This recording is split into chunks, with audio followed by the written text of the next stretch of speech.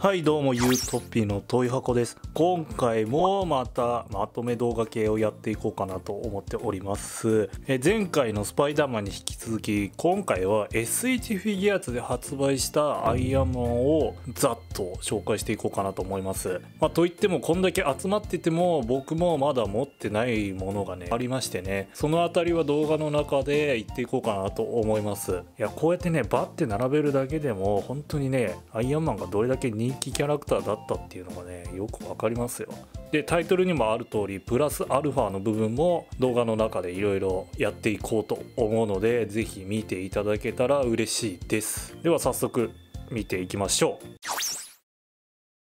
一応紹介の方法としては作品別に紹介していこうかなと思います。じゃあまずは1作目のアイアンマンに登場したスーツから見ていきましょう。まずは最近発売されたアイアンマンマーク1ですね。記念すべき最初のアイアンマンスーツです。洞窟の中で作られたということで他のアイアンマンスーツとはもう一番違う見た目をしておりますね。ただこの継ぎはぎの感じの再現度とかところどころへこんだ感じあと汚れの再現でこういうむき出しのメカとかチェーンとかもうすごくねよく表現されてるアイテムだと思います。このねマスクの中から見えるトニー・スタークの目もすごくリアルに表現してあります。次はマーク2ですね。まあちょっと試作っぽい感じのスーツでこのように色が完全にシルバー一色となっております。と言っても一応劇中だと、えー、氷結対策とかはしていなかったりするスーツなのでまだ未完成ではありますけどもフィギュアだと完全にマーク3のリデコアイテムとなっております。なので基本的な仕様とか付属品は全く変わりありません。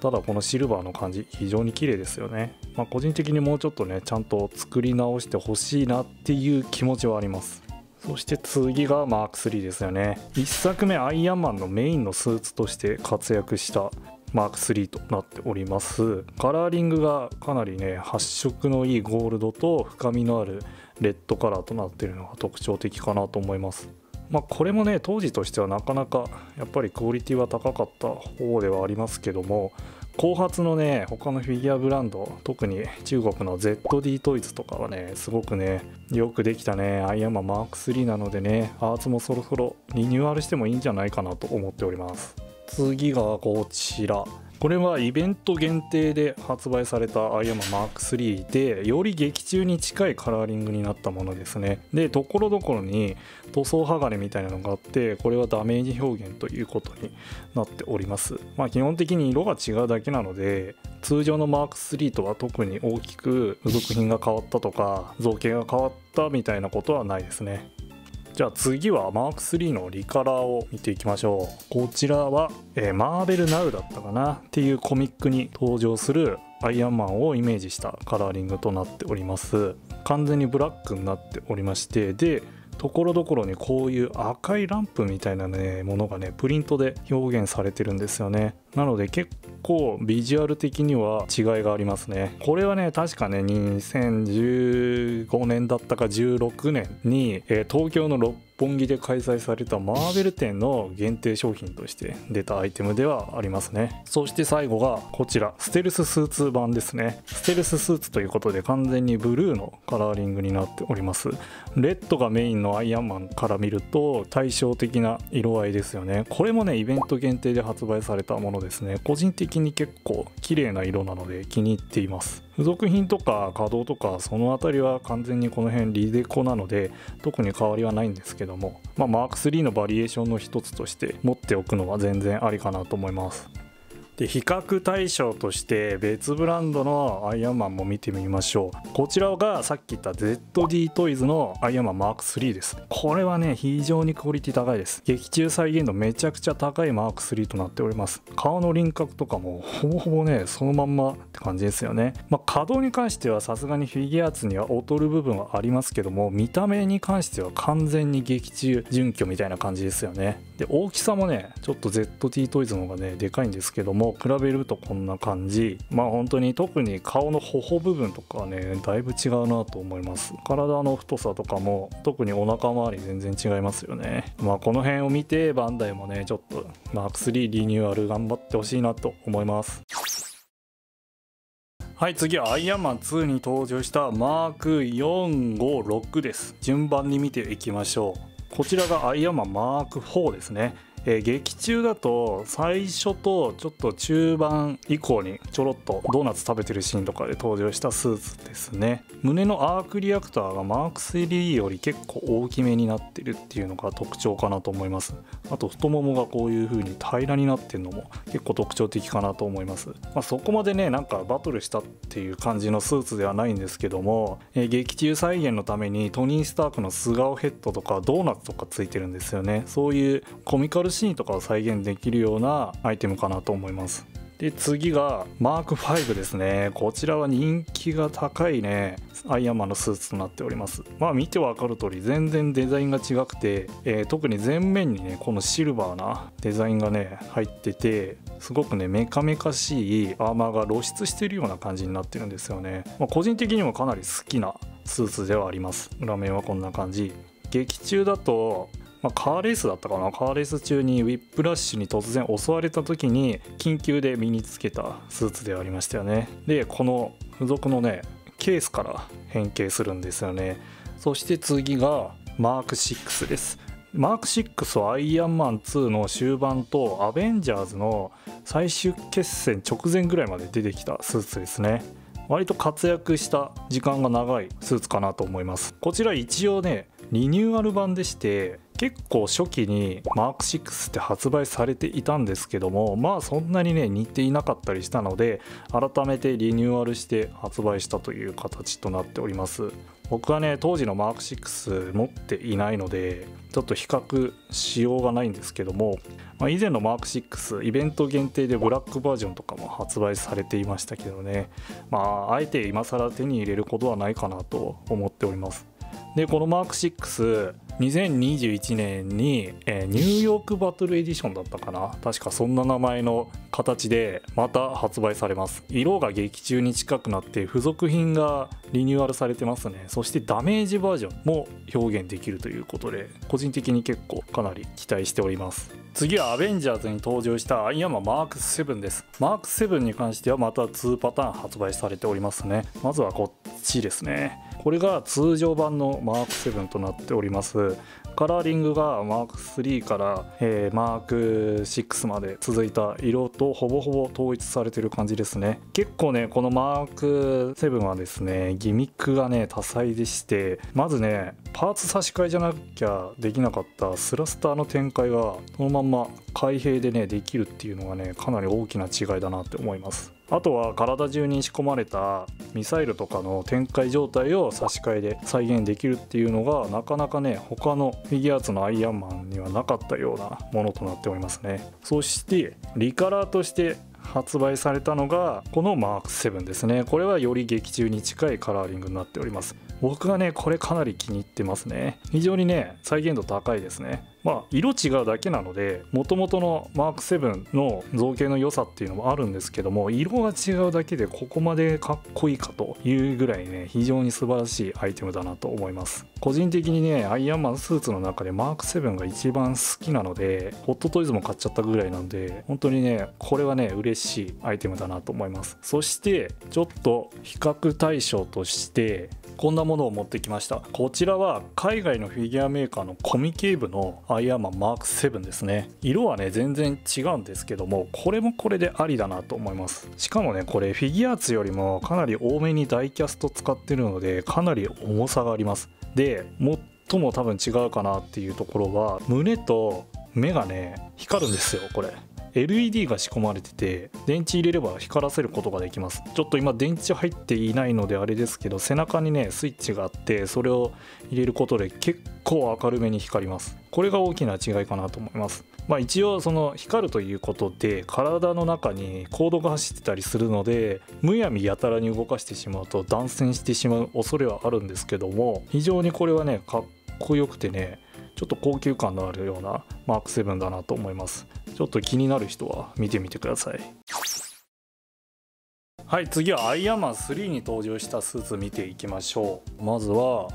こちらですね。マーク20 Python です。えー、特に劇中ですごい活躍をしたってわけではないんですけどもアイアンマン8から41のうちの1体でそれがフィギュアーツで商品化されたという感じですね。といってもこれもねマーク7のほぼほぼリレコみたいなアイテムなんですよね。まあ微妙にね足とかが違うんですけども、えー、上半身に関してはほぼ一緒という印象ですね。特に肩周りとか胸周りとかはほぼ一緒のアイテムです。なのでスラスターも開くことはできるようになっております。これ確かねイベント限定だったかな、まあ、なかなかねこれもね結構立体化に恵まれているスーツかなと思います。カラーリングかっこいいですからね。で次がマーク22ホットロットです。ホットロットっていう名前の通りね、えー、手と足がね真っ赤になっておりましてでここはすねの辺りにファイヤーパターンがついてるんですよね。これめちゃくちゃかっこいいですよね。まあ一応これもほぼほぼリデッコみたいなアイテムで大マシンマーク2とかアイアンパトリオッ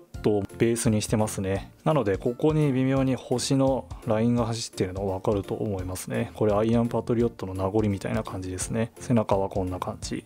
ここに穴も開いてるんですよね。これ大マシンのあの武器を取り付ける時の穴がそのまんま残ってるって感じですね。これ確かねイベント限定でその後プレミアムバンダイで抽選販売したみたいなアイテムなのでかなりね入手困難なフィギュアだった印象があります。そして次がアイアンマン3でメインの活躍をしたマーク42です。なかなか可愛らしい印象のあるスーツでしたよね。ちょっとポンコツみたいな感じでしたもんね。でもこのゴールドのカラーリングが非常にね他のアイアンマンとはねかなり違ったような印象を与えてくれます。これ買ったのね再販版で初版版だとソファーがついてたんですよね。ちょっと惜しいことしたなと思います。これも人気の高いスーツなのでまあ是非気になる人はちょっとチェックしてみてもいいんじゃないかなと思います。そしてちょっとまたついでに紹介しておきたいものがありまして。はいこちらイゴールですね。これはさっきマーク7のところで紹介した海外のフィギュアブランドのコミケーブから発売しているものですね。なのでダイキャスト使用されていてめちゃくちゃ重いです。あのホッ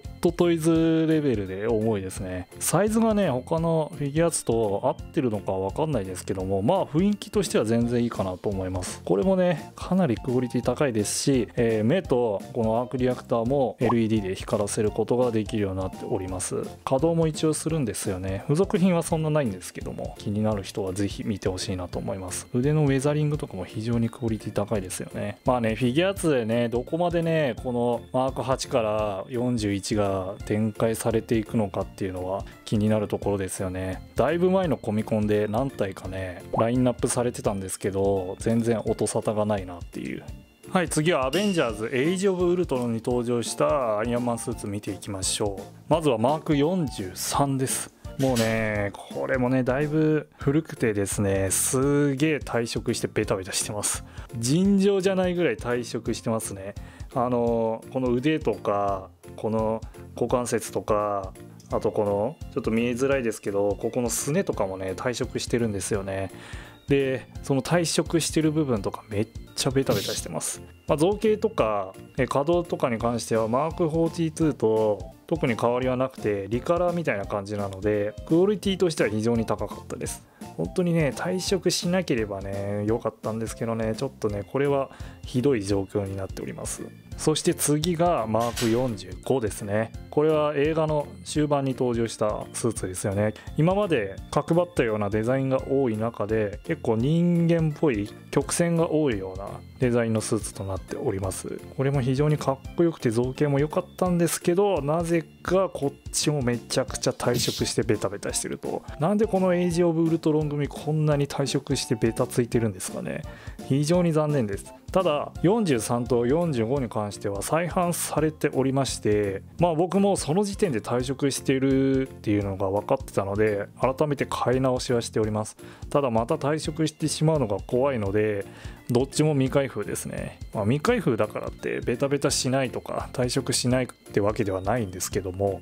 その辺改善されてるのかなっていうのはちょっとね気になるところかなと思います。そしてエイジ・オブ・ルトロンだとフィギュア2だとハルクバスターがね出てるんですけどね当時の僕はなぜか見送ってしまってね未だに後悔しております。ということでそれを晴らすためにこんなものを買っております。こちらマフェックスのハルクバスターです。これもね僕はねかなりクオリティは高いなと思いますよ。しかもねアーツに比べてねそれなりに安かった気がするんですよ。今はね高騰しちゃってさすがに買うことは難しいかなとは思うんですけども色とかも結構好きですし稼働もねクリック式であんまりへたることがないんですよね。肩の引き出し機構とかあったりとかするんですよ。アーツみたいに LED で発光とかはねさすがにないんですけど僕はそこまでそれは求めてはいないのでいいかなと思います。そしてアーツになかったようなアーマーの展開とかねできるんですよ。このように。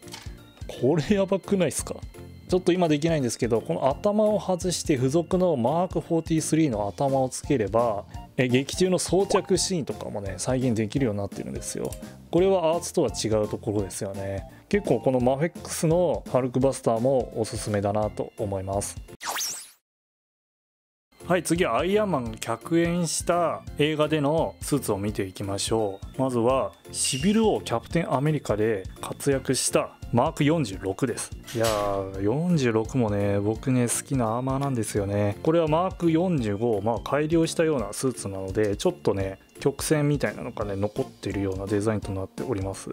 結構深みのあるレッドなんですよね。いや非常にねかっこいいんですよ。あんまり展開ギミックとかないんですけども個人的にこのマスクの形状好きなんですよね。このなんだろうな眉を潜めたようなねラインがねすごいいいんですよ。怒った感じの表情に見えますよね。当時はシビル王のキャプテンアメリカとセットになったアイテムもね発売されてましたよね。僕はそっちで買っております。そしてこちらがスパイダーマンホームカミングに登場したマーク47ですね。えマーク46とほぼほぼ変わらないデザインでリカラーなんですけども、えー、見てわかる通りここの大部分がシルバーカラーとなっております、まあ、不思議な色合いですけどこれもなかなか人気なスーツですよね。で普通にこのゴールドの部分もより劇中に近いような色合いになってるのが素晴らしいなと思います。僕はこれホームメイド版ファイダーマンとセットになったもので購入しております。はい。じゃあ次はアベンジャーズインフィニティ・ウォーに登場したスーツ見ていきましょう。ちょっと後ろの人見切れてますけど気にしないでください。こちらマーク50ですね。ナノテクを使用したスーツとなっておりましてかなり人間のスタイルに近いようなデザインになっております。劇中ではトニー・スタークはマーク50だけ使ってサノスたちと戦っておりましたね。で付属品にはナノウェポンがいくつかついておりまして劇中の武器を展開したようなマーク50を再現することができるようになっております。で次はこちらです。マーク50のナノウェポンセット2ですね。2ということは1があるんですけども1に関しては僕ね買ってないです。あのー、まあ、ちょっとね欲しいなとは思うんですけども劇中に登場した武器がついてくるってわけではなくておそらくコンセプトアートのアーマーを立体化したみたいな感じなんですよね。なので劇中再現云々とかではないアイテムですね。でこのナノウェポンセット2に関しても同様にえおそらくコンセプトアートを元にしたものとなっております。なのでこの背中についた武器とかは劇中には登場してきません。なんかよくわかんないですよね。これが何なのかはよくわかんないんですけどまあなんか派手になるのでつけております。で結構いろんなアーマーを取り外すことができたりしてまあ太ももとかこの脇の部分とか肩とかも取れるんですよね。でいろんな武器を取り付けるようなことができるようになってます。まあ遊びの幅としてはとても広いですよね。多彩なね武器を使ってのアイアンマンのポージングとか楽しめるっていうのはとても楽しい試みだなと思います。でこちらがハルクバスターマーク2ですね。一応アイアンマンのスーツのナンバリングだとマーク48っていうことになるっぽいですね。でこれは超合金と確かコラボしたようなアイテムなので一部、えー、ダイキャストが使われてたりするので結構重たいです。カラーリングの再現云々に関しては結構ねいろいろ賛否あったりしましたけど造形としては非常に素晴らしいです。指も稼働しますし結構ねいろんなところに LED 仕込まれてて目とかアークリアクターとかあとどこだっけな非常にこれはね素晴らしいハルクバスターのフィギュアかなと思います。ちょうどねマフェックスでも出ていなかったので、まあ、フィギュア2で買っといてよかったなと思います。劇中だとブルース・バナーが装着していましたよね。そしてアイアンマンが最後に登場した作品となっているアベンジャーズエンドゲームのスーツたちです。まずはマーク85ですね。これは映画公開に合わせて発売されたフィギュアーツですね。なのでカラーリングとかは結構今までのフィギュアーツ同様にちょっと劇中とは違うようなカラーリングになっております。それでもねクオリティは高いかなと思います。一時期本当に高騰とかしてましたからね。この特徴的なねイエローの二の腕とか肩とか太ももとかもちゃんと表現してあります。いやね最後のスーツだと思うと非常に感慨深かったですね。そしてこちらがマーク85のファイナルバトルエディションとして発売されたものです。色がですね劇中に近くなってウェザリングとかもかなり入っております。劇中のバトルのダメージみたいなのを表現してますね。素体自体はほぼ一緒なんですけどもまずね元がクオリティ高かったのでそこまで文句はないかなっていう感じはしております。で付属品には背中についてるようなこの劇中にちゃんと登場した武器がついてきております。他にも剣だったりシールドだったりっていうのがねあります。ね。であとトニー・スタークの素顔ヘッドとかもついております。なかなかプレイバリューが高めなアイアンマンのフィギュアーツだったなっていう印象があります。そしてエンドゲームのあの感動的なシーンが再現できるマーク85のアイアムアイアンマンエディションです。ところどころに、えー、サノスたちとの戦いのダメージを表現した新規造形のアーマーとなっておりましてで右腕に関してはこのようにインフィニティストーンがついてて今にも指パッチンしそうな手の形をしております。他にもエフェクトパーツがついた、えー、手首パーツとかがついておりますね。でヘッドに関しても傷がついたようなヘッドになっておりますね。あとは劇中のシーンをより再現度上げるためのジオラマセットとかもありましたね。本当にあの映画が好きならば買って損はないかなっていうアイテムです。そしてこちらアイアンマンではないですけどもナンバリングとしてマーク49ってついてるので一緒に紹介しちゃうレスキューですね、えー、劇中だとペッパーポッツが身につけてた、まあ、女性型のアイアンマンアイアンウーマンという感じのスーツですね。この特徴的なブルーの色が映えるようなスーツでなんかビームを打てるドローンみたいなのもついててこれもかなり良好なフィギュアだったなって思います。ペッパーの素顔ヘッドとかもついてますからね。まあ似てる似てないは置いといてもあるだけ嬉しいみたいな感じですよね。次は関連商品の紹介していきましょう。まずはこちらフィギュアーツのトニー・スタークですね。アイアンマン3でマーク42のテストをしていた時のトニーを再現しております。まあ顔は似てる似てないはちょっと置いといても、まあ、当時初めてこのサイズでのトニー・スタークの稼働フィギュアだったので非常に発売されて嬉しかったなって印象があります、えー、パーツ差し替えで42の腕と足をつけることもできるんですよね。でこれ嬉しいのが初回特典でこのトニーの実験室とかにあったな何て言うんだろうこれ、まあ、台座っぽいやつがついてくるんですよね。これがねかなり嬉しかったですね。でその後に発売されたこの後ろにあるホール・オブ・アーマーと合わせて飾ることができるようになっております。これ LED が仕込まれててここの天井部分とここがね光るんですよね。でマーク1からマーク7まで入れることができます。別に他のアーマーも入れることはできるんですけども劇中再現だとそのスーツたちかなと思いますね。これね7個ちゃんと買ったんですけど飾る場所がなくて結局しまってるっていうね宝の持ち腐れなのでちょっとねなんとかしていきたいなと思います。そしてこちらがアイアンマン1に登場したトニー・スタークですね。これはまだ、えー、自分がヒーローになるとは思っていなかった頃のトニー・スタークですね。これもなかなかね再現度としては非常に素晴らしいです。スーツのシワの感じとかもいいですしね。サングラスのオレンジの造形とかも素晴らしくよくできております、まあ、少し目がクリッとしてるのがあるんですけどもまあ雰囲気は全然トニー・スタークだなって感じがします。でこちら差し替えることで洞窟でマーク1を作ってた時のトニー・スタークも再現できるんですよ。これはなかなかプレイバリュー高めなフィギュアーツだなって思いましたね、まあ、本当にトニー・スタークはいろいろ優遇されておりますよね。はいここまでアイアンマン紹介してきましたけどちょっとおまけでウォーマシーン見ていこうかなと思います、まあ、なんでおまけかっていうと数少ない割に全部揃ってないからですね、えー、じゃあ登場順で紹介するとこちらですね。アイアンパトリオットです。こちらアイアンマン2に登場したスーツですね、えー、パトリオットなので正常期をイメージしたようなカラーリングになっております。こちらウォーマシーンマーク2のリレコーでもあるのでまあ、結構使い回された素体ではありますよね。マーク2早く欲しいな。パトリオット再販されたんでマーク2も来てくれないですかね。じゃあ次はマーク3ですね。こちらシビルをキャプテンアメリカに登場したウォーマシンということになっております。結構ね、この辺りからまたゴテゴテし始めたなっていう印象があります。この赤いアークリアクターとかもね、印象的ですよね。で、電撃が発せられるのかな？なんかバトンみたいな武器も装備してますよね。で、次がウォーマシンマーク4です。こちら、アベンジャーズインフィニティ・ウォーに登場したスーツですね。これもね、すげえゴテゴテしてて、僕ね、一番ウォーマシンの中で好きですね。で、フィギュアーツもね、結構クオリティ高かったり、付属品豊富なので、武器の展開とかもいろいろできるようになっております。まあ、唯一気になるのが、アーマーの表面の迷彩っぽいような絵柄がね再現されてないっていうところですかねまあなかなか再現するの難しいと思うのでちょっとその辺はしょうがないかなとは思っておりますそして最後がアベンジャーズエンドゲームに登場したウォーマシンマーク6です。こちら割とエンドゲームで活躍した印象がありますね。タイムスリップもこのマーク6で行っていましたね。結構いきなりシンプルなデザインのウォーマシンになっていたので驚きましたけどね、まあ、この後エンドゲームアイアンパトリオットがまた出てくるんですけどねめちゃくちゃごつくなっておりますあれもフィギュアーツで参考出品されてたので早く商品化してほしいところです。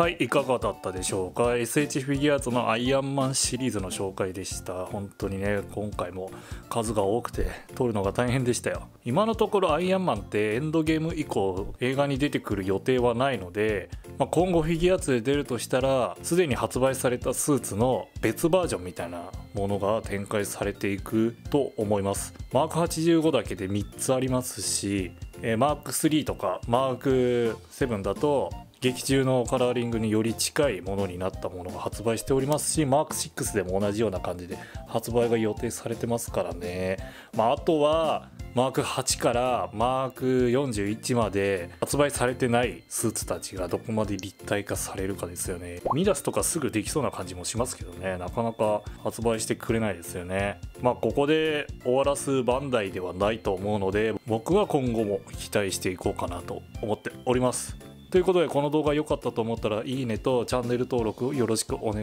いいたします。以上ゆうとぴでした。ありがとうございます。